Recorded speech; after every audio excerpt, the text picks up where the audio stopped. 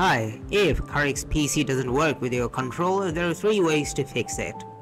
First is for Windows controllers, just literally any Chinese controllers. Second one is for PlayStation kind of controllers, and third one for all controllers but requires Steam. So to get started, we start with the first one. Firstly, we're going to connect our controller. After connecting your controller, you're going to open up X360 and it'll automatically detect what kind of controller you have and it'll map up your controller. But if you don't like this mapping, you can always change them. After that, open up CarX and remap your controls.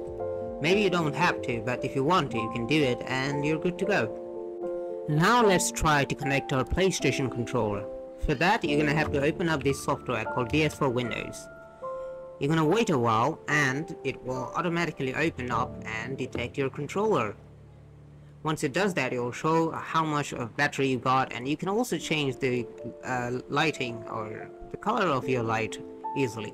After that, you're gonna open up the game and it will work. If you need to, just change the controller settings from the settings menu.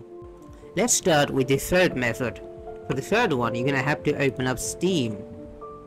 Now, a lot of you probably don't have this game on Steam and that's totally fine because you can use Steam to play non-Steam games using the controller fix. For that, you're gonna have to click on here, add game, add a non-Steam game, and then you're gonna have to either browse or wait for the game to show up. For me, it's not showing up, so I'm just gonna browse. I'm gonna go, I'm gonna go to games, game, CarX, and we're gonna select Rx.exe.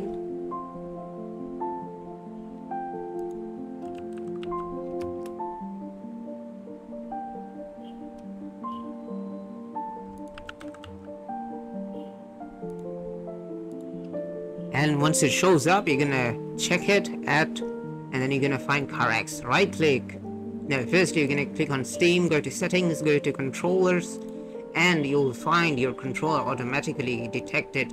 No matter what kind of controller you have it'll all be detected because Steam is really good at it. Press on begin test and you'll see that it's working properly. Close it.